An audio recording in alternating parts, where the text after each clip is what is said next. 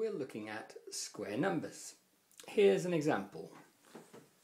4 times 4 is 16. 16 is called a square number. Here's another one. 8 times 8 is 64. 64 is another square number.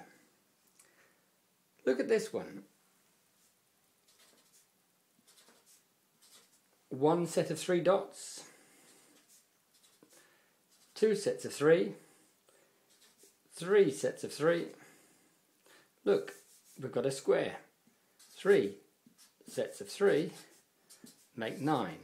Nine is a square number. One, two, three, four, five, six, seven, eight, nine. Three squared is nine. Nine is a square number. In a test, you might be asked to find the square of a number. You might be asked to find, for example, the square of 6. So what's the square of 6? 6 times 6 is 36. 36 is the square number. That is 6 squared. And of course, you probably know, but quite often this will be written like this. 6 with a little 2. The little 2 means there's two sixes multiplying each other together. 6 squared, that says.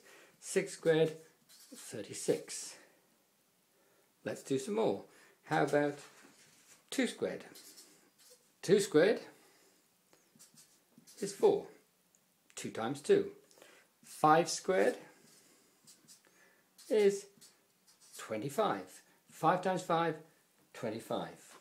Now for quite a tricky one, a strange one, 1 squared means 1 times 1. One lot of 1. The crazy thing is it is still 1.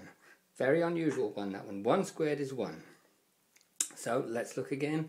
1 squared is 1. 2 squared is 4. 3 squared is 9. 4 squared is 16. 5 squared is 25. 6 squared is 36. How about 7 squared?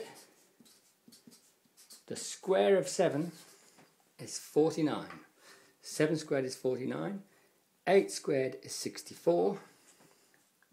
9 squared is 81. And 10 squared is 100.